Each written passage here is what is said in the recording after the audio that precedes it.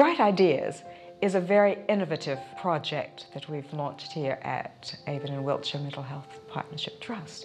And it enables service users and their carers, as well as our members of staff, to try something new, to see how it is they can improve the service. And actually, what we want to get out of it is that co production where we have a member of staff working very closely with a carer or service user, understanding how the service can be made better, and to develop a project which promotes hope, encourages recovery.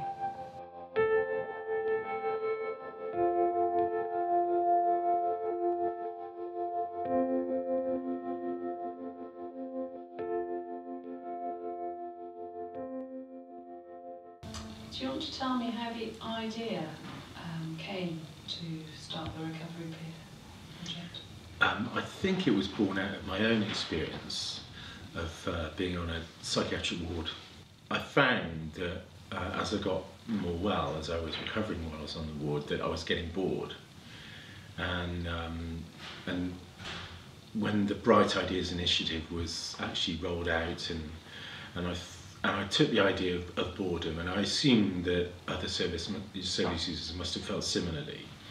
You know, that as you start to recover, you want to start doing things. And because I'd always been interested in creative writing, I think I thought it would be a good combination to to tackle boredom at the same time as giving people the opportunity to say something or write something about themselves.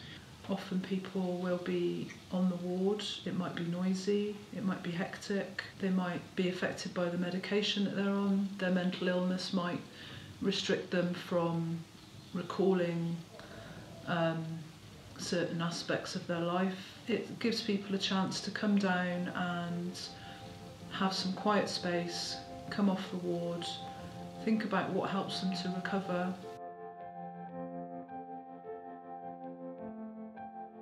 So um, this is something that Karen uh, got her hands on. It's called uh, Letters to My Future Self. Did writing a letter to your younger self offering advice Mm. or writing a letter to your not so well self Yeah, from your well self. yeah.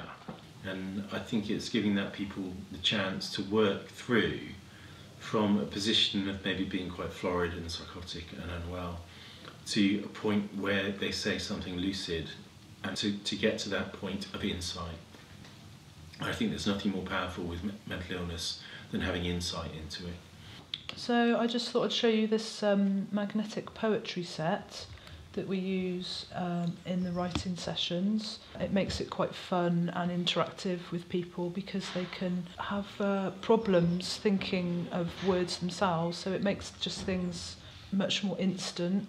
Pulling out one word and then that might spark a story or a memory. because when if you have an illness maybe some some of the given meanings for words change for you which is no reason why they shouldn't then write those words down and try and think about what they mean Because if we get better service user involvement in designing the things that help them to have uh, hope and help them to recover, then you have a marvelous project.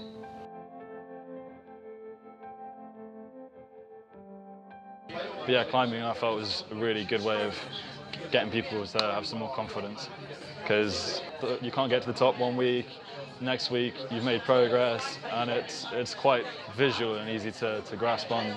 Since I've been a service user, I've had quite a bit more free time because because they took me out of work. It's a bit of a physical workout and a bit of a challenge. It's an enjoyable use of time. It, it, it started off as a personal thing for me because I'm, I'm scared of heights, so I had to go at climbing just to, to see what it's like and try and overcome the fear.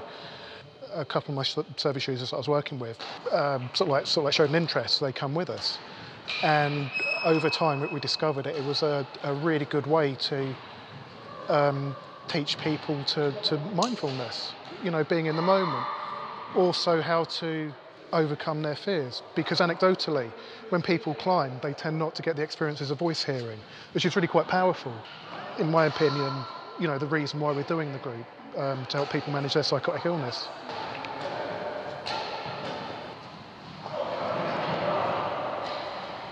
So when we heard about Bright Ideas, um, we decided that the people were going to, or, they decided they wanted a, climbing qualification, which is a, a called the Climbing Wall Award, which is a nationally recognised um, qualification, which isn't cheap. It really wasn't easy. You know, it's not a dead set pass. You know, they have to work for it, and if they don't do the requisite, you know, amount of climbs or groups, then you know they can't pass. Because I, I think you know, it's very undermining, very demoralising to just be given a qualification. It means nothing, doesn't it? You're doing the training. Yeah, I did. Yeah, I think it's awesome. I think giving people that opportunity opens up a whole avenue. You can take it to something you're just proud of doing, or you can even move on to, to make it into a job for yourself, which is which is great. Um, and again, that process is getting you out and taking responsibility for yourself and organising these kinds of things as well. Um, which for, for a lot of people, that's that's another step um, for, for sort of getting out into the world. I would love when the um, chaps qualify for them to, to roll this out to other teams. I think that this is a innovative, I can't say that word, Innovative. approach to, um, to healthcare, which is actually led by not just me, but you know, the people in the group. So it's a real collaborative approach right from the start then. Well, isn't recovery, you know, so I, I can't see that it, it what we works any other way. Charitable funding has allocated some money toward it. And I think last year or the year before last, 2014, we had £25,000 that would enable us to encourage service users and our staff to develop some initiatives. And I think they've turned out tremendously well.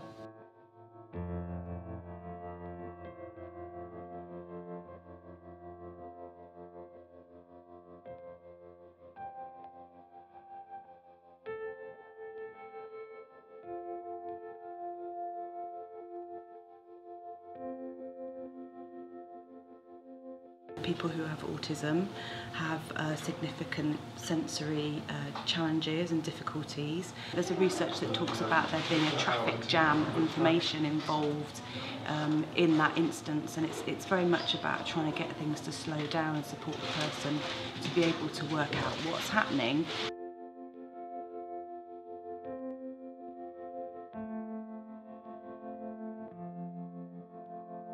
so the idea of a sensory assessment is you assess what those differences from the norm are, and then you try and find ways to address those and, and make the person more comfortable and more able to function. And the evidence suggests that if you find the right piece of kit for that person, that their distress reduces really. For example, somebody uh, might find the fact that there's too much too much noise or too much input coming in that might need controlling. So for example there could be some um, headphones some noise reduction headphones to prevent too much stimuli from coming in. It might be for instance that they haven't got enough stimulus coming their way and they feel very agitated or anxious. They might need something quite calming and relaxing like a weighted blanket for example some sort of relaxation equipment the, ideas that we have, the things that we think will work for them, aren't actually the best solution. So the idea was to create a literal library of things that we can lend to people, and then uh, they can just try them on for size, really. The, the person will be identified that they have some sensory needs and challenges that need assessing, and then a member of staff is able to then go and borrow the piece of equipment and then that will go out to the service user with a service user agreement and instructions etc this project is about getting equipment to give to people with autism. And it's about finding a resource that isn't available and sharing it with service users. And I think that's a model we can replicate very easily across masses of different wards and team types.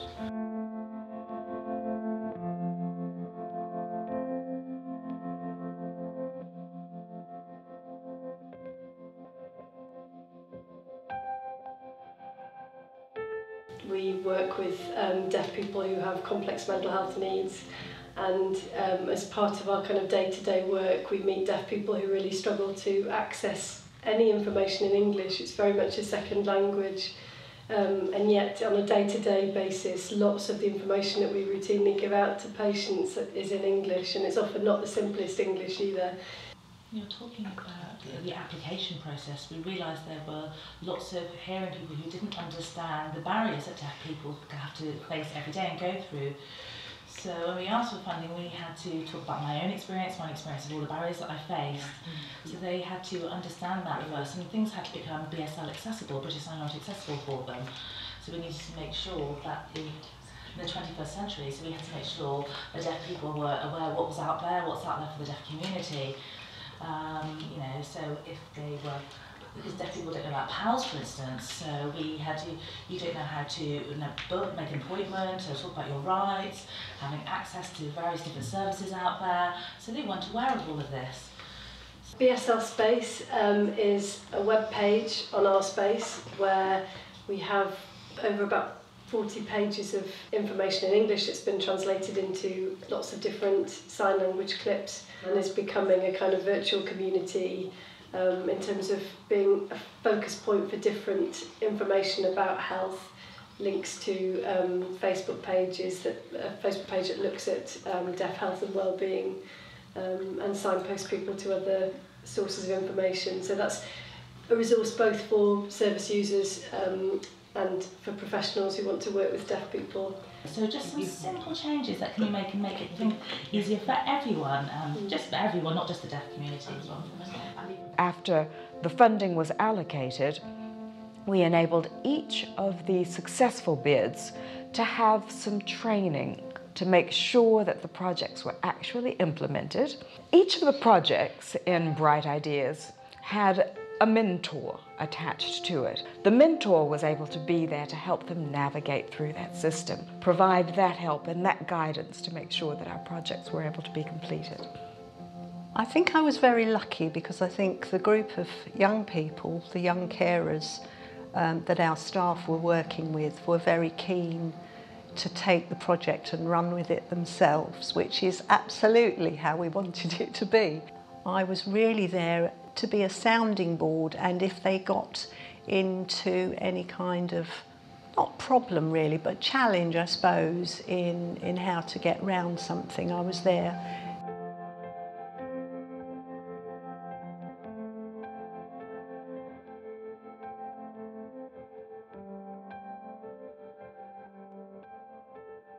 I care for my mum um, who, who suffers from mental illness and um, yeah, I've been caring past 12 years now. Young people that are going through school, which it's really hard, like doing GCSEs, A levels, with having that caring role and you need that time to study, but you can't.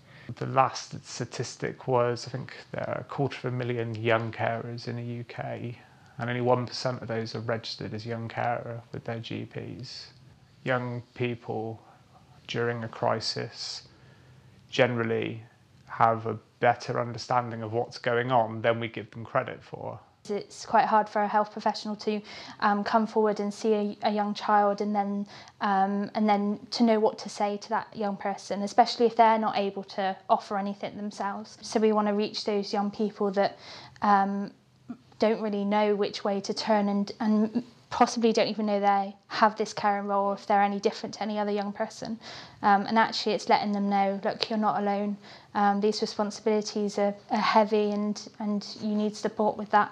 And actually involve and include rather than kind of all the mental health professionals will come around, you better go and hide in your bedroom and don't come out until they've gone sort of thing, which unfortunately still happens even today. The, the purpose would be to, to reach as many young people as possible with some information and um, and something that can be fun and start a conversation um, with health professionals. Um, the idea of having a rucksack that has um, not only leaflets about local services that the young person can reach out to, but also things that can be fun that they can do with their parent or um, with a carer or, or anybody to really start a conversation. And also um, we're going to go into the, the mental health ward and um, and the crisis team and train them not only what this rucksack can provide a young person but also um, what a young carer is, uh, what that means for a young person and what it means to their family.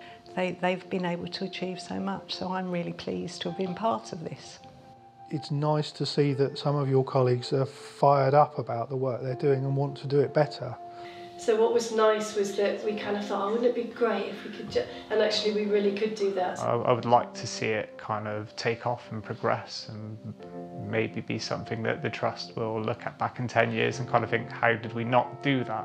If something works and it's of benefit to service users in that team, it should then naturally be able to expand without being too difficult. I would encourage people to think about a little bit blue sky thinking, but kind of just think about the things they could do if, if there were no barriers for, you know, small projects, but if, if there were no barriers. So I'd like to, you know, roll it out across the trust, then take over the world.